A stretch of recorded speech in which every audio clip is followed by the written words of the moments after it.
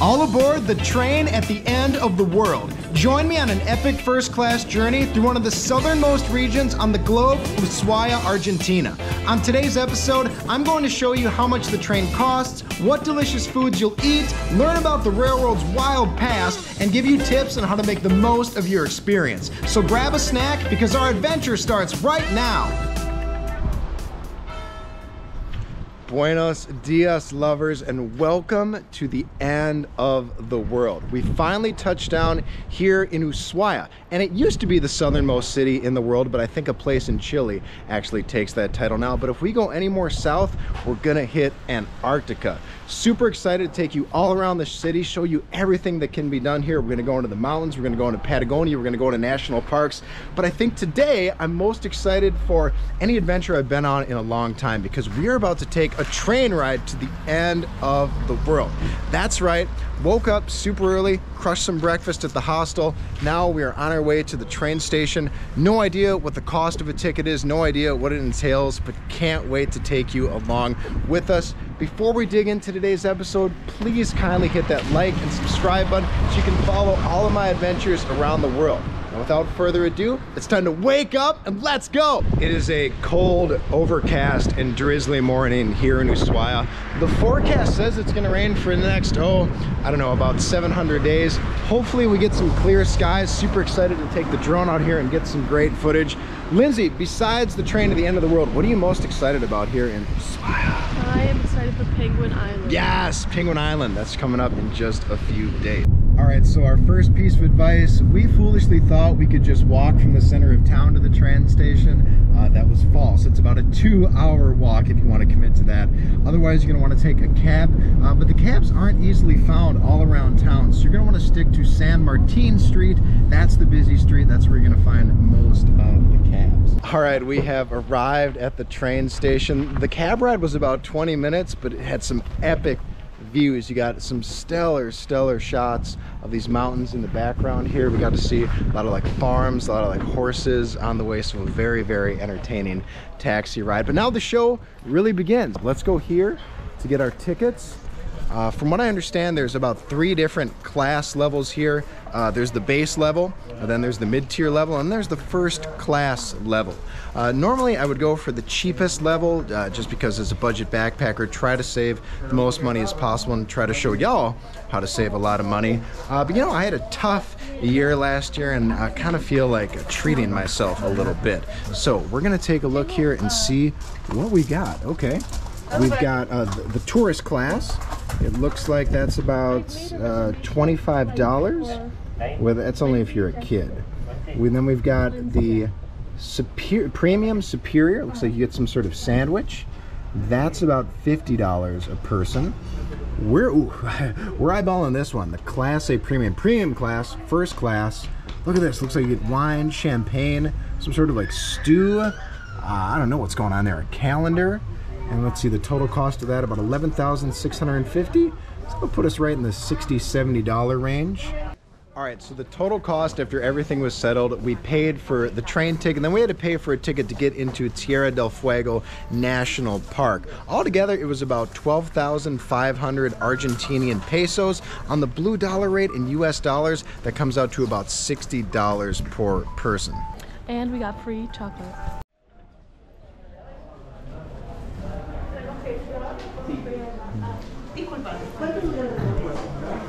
Of course, any good tourist attraction will have a gift shop.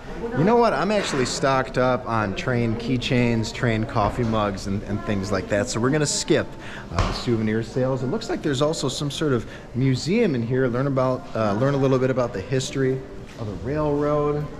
Cool, cool. Oh, check this out. Wow, Mickey Mouse was actually a passenger on the railroad. Wait, is, is this? Is, what's going on here? There's a lot of, a lot of, a lot of Mickey Mouse. All right, tickets have been acquired and the sun is coming out. They then came around to ask us what we wanted to eat and drink. Check this out. We get three beverages and then an entree. Not gonna spoil what we ordered until we get on the train, but ooh, sounds like we're gonna maybe have a little bit of a buzz uh, on this train. It sounds like our bellies are gonna be super full. Uh, got about 45 minutes until the train boards, so just gonna walk around taking some of the sights, some of the history. I mean, these views are stunning. What is that? We've got, it looks like people are actually camping over there. There's some tents set up. All right, so based on everything you get, first class kind of seemed like a no-brainer. The, the price drop-offs between the other classes, it just felt a lot more justifiable to get a meal and to get some drinks. Uh, but one other reason though, check this out, right behind me, that's the line for the other classes, super, super long. I think that line actually stretches back to Buenos Aires. But here's the first class line. Nobody else in it, just me and Lindsay. First class, the way to go. Can't relate to that line. The train's coming! The train's coming!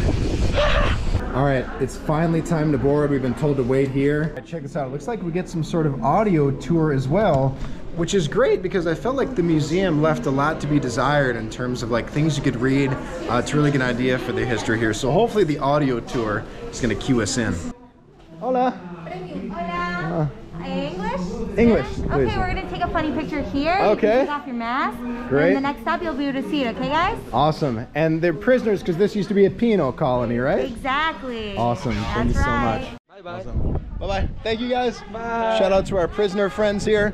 Okay, so this area used to be a penal colony. If you don't know what a penal colony is, it's essentially a place where they send prisoners to do work.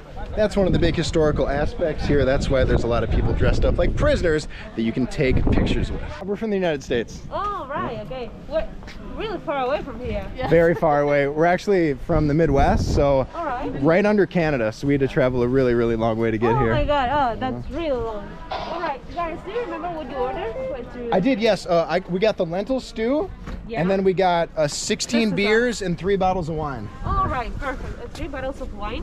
I'm, I'm kidding. it's we only got one. one bottle all of right. wine. Okay, so guys, these two are your tables, all right? Perfect. It's one table per person, okay? Oh, it looks lovely. It's so cool. Okay. Gracias. Chicos, ustedes de primera clase. Oh, look at this. So dope. Ah, wow. All right, here we are in our first class cabin. We each get our own seat. Let's take a look at the, the spread we're working with here. So I told you that we ordered a few cocktails. Okay, hold up. It looks like the, the entree is on the way as well. But to start it off, we've got, uh, I went with a blonde ale, a little cerveza, and we've got a little champagne to celebrate with. I understand that there may be some coffee on the way too. Okay. Hello, hello. Oh, a little bread basket dropping in. Nice. Chicos.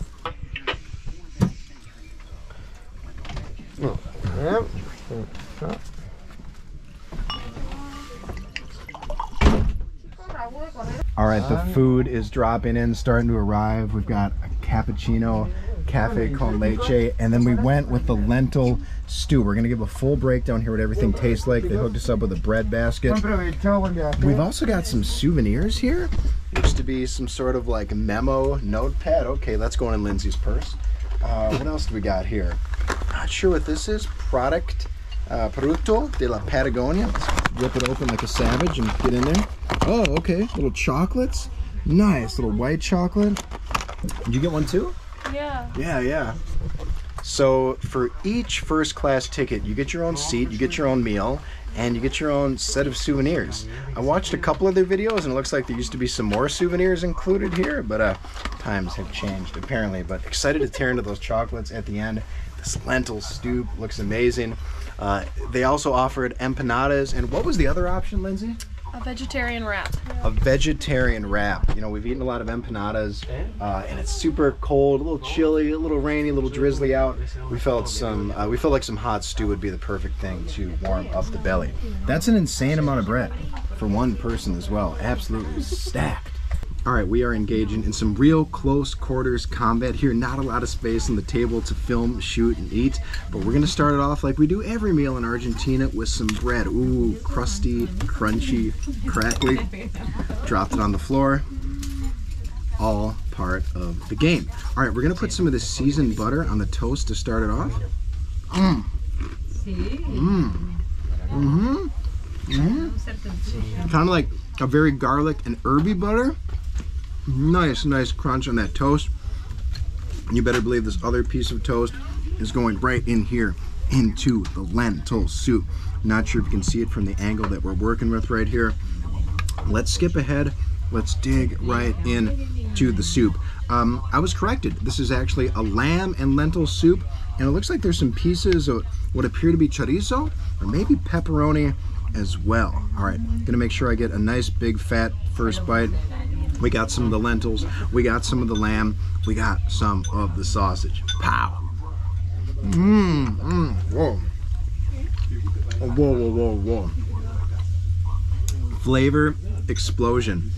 Okay, that is an incredible soup. Where to begin? All right, the lamb itself, incredibly juicy, really tender, a lot of full flavor to it. Lamb is a pretty fatty meat, but this one tasting super, super lean, really, really nice. The lentils, cooked to perfection. It looks like we've got a mix of like a little bit of potatoes and carrots in here as well. Nice little bit of like saltiness from that salami, that chorizo, that sausage in there. This is a really, really good stew. We haven't even taken off yet. Obviously, first class. We're both extremely pleased with our decision to do it. Highly recommend that you take first class uh, when you book this train. I can't imagine traveling any other way on this train. Lindsay, give us a breakdown of the lamb lentil stew. Tell us your thoughts. What are you thinking? It is the perfect meal for today. It's so cold out and it just warms you from the inside out. Yeah, yeah, yeah, yeah, yeah. And and the champagne and this beer and this wine that'll warm us from the inside out as well. Look at this bread basket. This the, it, it, it's insane. This is so much food.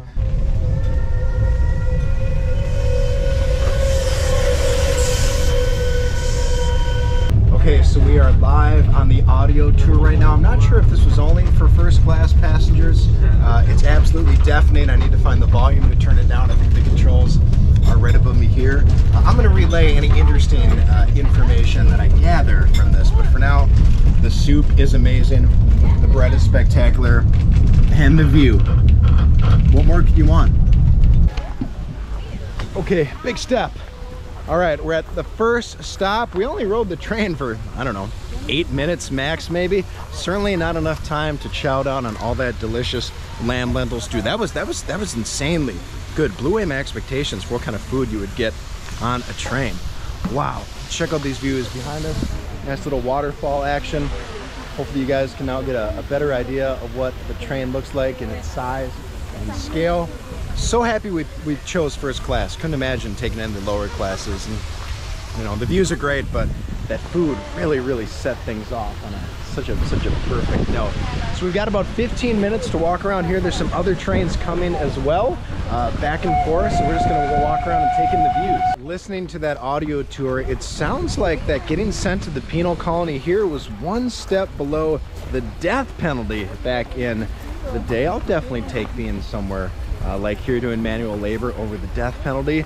Uh, for sure but uh, from what I understand a lot of the labor they did here was chopping down trees hauling lumber things of that nature. At least I'd say a good 100 people on this train with us today. All right, it started to sprinkle just a little bit, so we are sprinting our way up to this viewpoint because we've only got 15 minutes before the train boards again. They said they're gonna ring some horn or some whistle and then it's time to go. Uh, but let's head up here and see what this viewpoint has in store.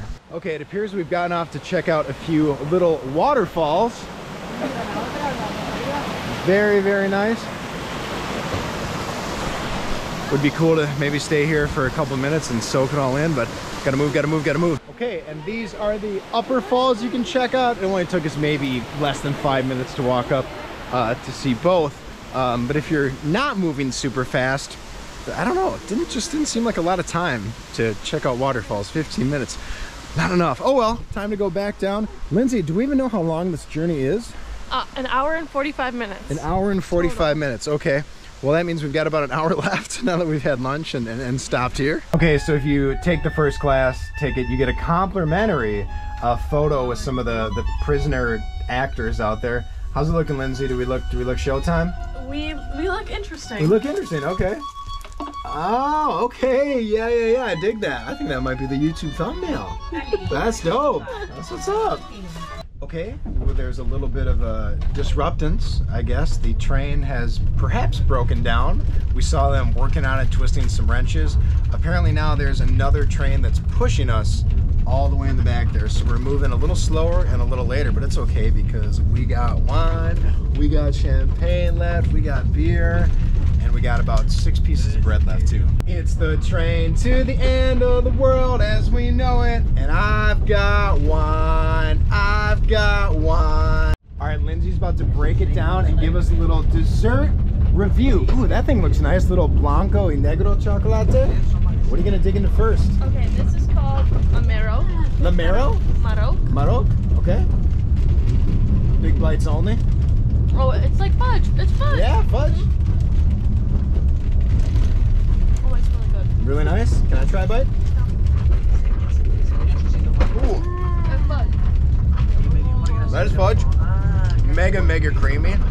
Super rich, super sweet. That's good chocolate. Nicely done. Train to the end of the world. Nicely done. Again, beyond blown away, like the quality of the food here. And you saw like how many drinks there were to choose, how many other entrees there were. I will say, these uh, these seats are close quarters. So I I normally was gonna pack a bunch of layers because it's kind of chilly out. I would have felt super uncomfortable just based on how like tight knit uh, the quarters are here. So make sure to dress a little bit light. I can't imagine uh, if this first class cabin was packed, it would probably be a little stifling, a little bit uncomfortable. Really digging the views that we're seeing on the first part of this train ride. Even though it's kind of overcast, it's still incredibly beautiful and breathtaking. Driving past a variety of like rivers, very cool like forest landscapes, and of course the mountain backdrop really just brings everything together. Yo, yo, yo, so we're listening to this audio tour right now and it's talking about the prisoners that used to be here in the penal colony. There was a guy, a serial killer called the Big Eared Midget who killed his entire family. Definitely want to read more into that guy. If there's somebody that deserves a murder podcast, yeah, somebody named the Big Eared Midget. Weird. Okay, after about an hour, we've reached the end of the train to the end of the world. But it actually ends at the entrance to Tierra del Fuego National Park. Now, because it's raining, we're not going to explore the park, but if you come here and you want to explore the park, you do have to figure out your own way home with a taxi or a guide. Gotta say, I expected the train to the end of the world. I was expecting, like, the tracks would end and the train would just fall off a cliff and that would be it. So, minor disappointment that it didn't end like that. Uh, but we're about to just stick on the train and uh, we're gonna head back now and hopefully catch some different views. Here's a sneak peek of what the non-first class uh, cabin looks like. So it looks pretty comfy.